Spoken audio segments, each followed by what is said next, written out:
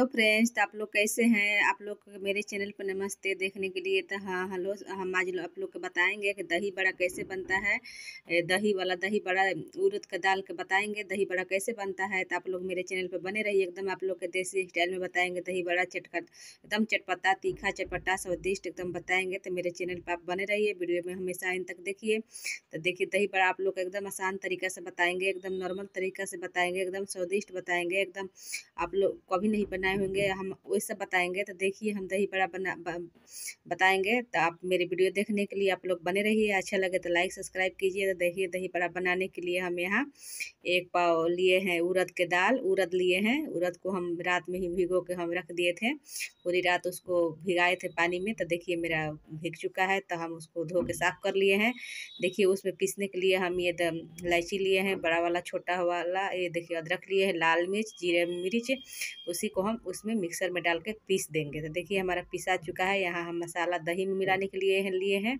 लाल मिर्च, जीरा, खड़ा धनिया लिए हैं। इसको हम अच्छे से भून के पीस लेंगे। तो देखिए हमें यहाँ अच्छे से उसको ज़्यादा नहीं भूनना है आपको, हल्का ही भूनना है उसको। देखिए हमारा हो गया। तो उसको हम निकाल के मिक्सर में पीस लेंगे। तो देखिए यहाँ हमारा मिक्सर में पिसा भी कर रहा है पीस को उसको हम दही में मिलाएँगे। आपको आगे दिखाते हैं हम कि क्या करेंगे उसको। तो देखिए यहाँ हमारा भी ये उड़द दाल भी तैयार हो, हो गया है उड़द उसमें हम ये डाल के पीसेंगे लाल मिर्च जीरा मिर्च अदरक थोड़ा सा इलायची बड़ा वाला छोटा वाला उसमें हम डाल के मिक्सर में अच्छी तरह से पीस लेंगे। ज़्यादा महीन नहीं पीसना है दरदरा टाइप के ही पीसना है ज़्यादा ना महीन पीसना है ना ज़्यादा दरदरा पीसना है। देखिए मेरा हो गया है यहाँ उसको अच्छी तरह से हम मिक्स करेंगे। देखिए उसको हम अच्छी तरह से मिक्स करेंगे उसमें हम स्वाद अनुसार नमक डालेंगे क्योंकि हमको मसाला तो उसी में पीस लिए थे तो मसाला हमको कोई, कोई नहीं डालना है उसमें खाली नमक डालना है। देखिए उसको मसाले डाल हम अच्छी तरह से उसको खूब उसको मिलाएँगे। आप जितना भी मिलाइए आपको कम पड़ जाएगा इसीलिए आपको खूब उसको मिलाना है। तो देखिए हम उसको इसी तरह से हम खूब उसको मिक्स करेंगे। देखिए, इसी तरह से आपको खूब उसको मिक्स करना है तो देखिए हम उसको मिक्स करके थोड़ा सा एक कटोरी पानी में हम उसको डाल के देखेंगे कि मेरा उतला छता रहा है या नहीं छता रहा है। छता गया तो जान जाइए कि मेरा अच्छी तरह से मिक्स हो गया है। देखिए मेरा छता गया है तो अच्छी तरह से मेरा मिक्स हो गया है, उसको हम रख देते हैं। अब हम करते हैं दूसरा तैयारी तो देखिए हम दूसरा तैयारी के लिए हैं, एक तो पतीला लिए हैं, उसमें हम एक लोटा ये दही जमा लिए थे रात में ही। अब हम दही का तैयारी कर लेते हैं जब से मेरा वो फूल रहा है तो देखिए दही हम लिए हैं तो दही में हम डालेंगे भुना हुआ ये मसाला जो भुने थे हम तो ये जीरा, धनिया, लाल मिर्च, जी, इलायची, बड़ा वाला, छोटा वाला, उसको हम इसी में मिला देंगे। जो दही का तैयारी हम करते हैं तो देखिए इसमें हम थोड़ा सा डालेंगे, ये काला नमक डाल लेंगे स्वाद अनुसार। स्वाद अनुसार ये हम नॉर्मल नमक भी डालेंगे, जो किचन में रोज़ हम यूज़ करते हैं तो नमक भी डाल लेंगे। तो देखिए उसको हम सारा उसी में डाल के हम मिक्स कर लेंगे। फ्रेंड्स, आपके पास अगर कढ़ी पत्ता है तो कढ़ी पत्ता को भी उसमें छोंक लगा दीजिए थोड़ा सा और अच्छा लगता है। मेरे पास अभी नहीं है तो देखिए उसमें हम डाल के मिला दिए हैं। तो अब उसको हम रख देते हैं, तब तक से हम दूसरा तैयारी कर लेते हैं। यहाँ हम, वो मेरा फूल चुका, उसको हम, अब देखिए इस टाइप से हम उसको छानेंगे। देखिए जिस जिस टाइप से हम डाल रहे हैं, उसी टाइप से छोटा छोटा डाल के आपको छानना है, उसको तल लेना है।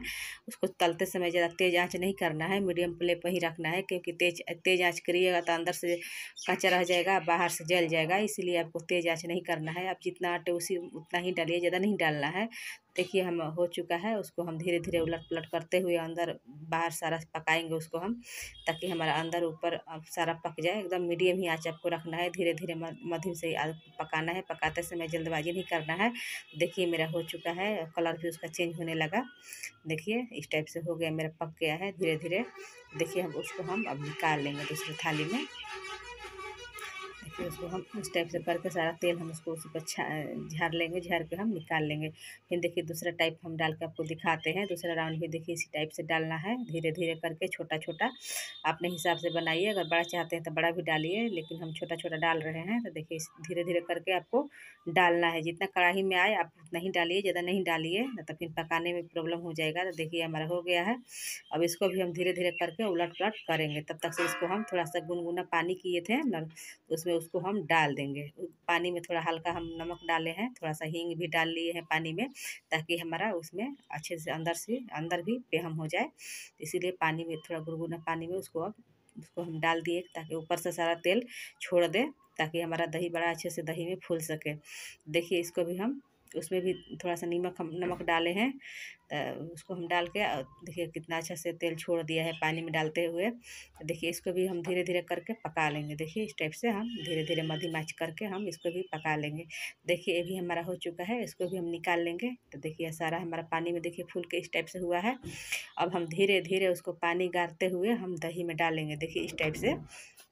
हम सारा उसको पानी निचोड़ देंगे निचोड़ के हम इस टाइप से हम दही में डालेंगे। एक एक करके हाँ देखिए अब हमारे पानी में देखिए डालते हैं डालने से सारा ऊपर का तेल छोड़ दिया है इसीलिए पानी में डालते हैं ताकि दही में दही दही में डालें तो उसको अच्छी तरह से उसमें दही ए, अंदर जाए इसीलिए हम पानी में डाल लेते हैं। तो देखिए सारा तेल छोड़ के कैसे सफ़ेद सफ़ेद लग रहा है तो हम उसको एक एक करके पानी में डाल देंगे छान के। देखिए, इस टाइप से आपको हल्का ज़्यादा नहीं दबाना है, एकदम धीरे धीरे हल्का हल्का दबा के उसको दही में आपको डाल देना है। तो देखिए, हम उसी तरह से डाल रहे हैं। तो आप लोग का मेरा वीडियो अगर अच्छा लगता है तो कमेंट में बताइए। हम आप लोग का नेक्स्ट वीडियो में हमेशा नए नए रेसिपी बताते रहेंगे। अगर मेरा रेसिपी आप लोग का अच्छा लगे, ज़रूर कमेंट करके बताइए कि मेरा ये रेसिपी कैसा लगता है। तो देखिए, हम सारा डाल लिए उसमें एक एक करके। अब हम देखिए, इस टाइप से धीरे धीरे उस पर दही चढ़ाएँगे। ज़्यादा आपको उसको हाली हाली नहीं आपको उलट पलट करना है ना, ताकि टूट जाए। तो आपको धीरे धीरे इस टाइप से दही चढ़ाना है।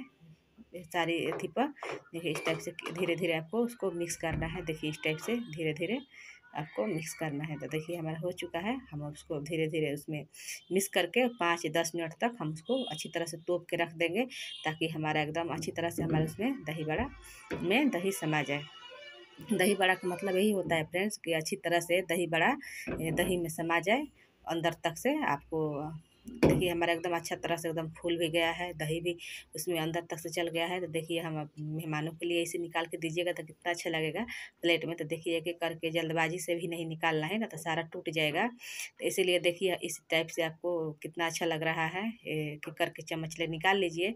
देखिए, हम एक एक करके चम्मच ले निकाल रहे हैं। आप लोग को दिखाते हैं कि इस टाइप से निकालना है आपको, जल्दबाजी में नहीं निकालना है। तो देखिए, कितना अच्छा लग रहा है।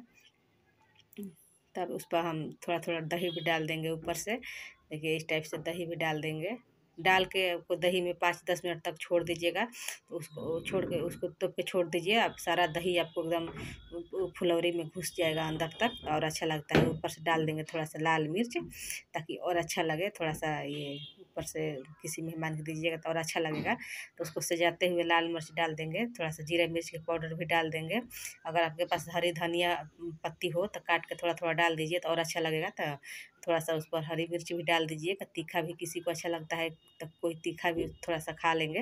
तो उस पर हरी मिर्च भी हम लिए हैं, थोड़ा थोड़ा डाल देंगे। अगर मेरा वीडियो आप लोग का अच्छा लगे तो लाइक, शेयर, कमेंट कीजिए। कमेंट करके बताइए मेरा रेसिपी कैसा लगता है। आप लोग का हम नए नए वीडियो में नए नए रेसिपी बताते रहेंगे। तो देखिए मेरा वीडियो आप लोग का कैसा लगा? अगर अच्छा लगा तो आप लोग शेयर कीजिएगा, कमेंट कीजिएगा। नेक्स्ट वीडियो में मिलते हैं। Bye bye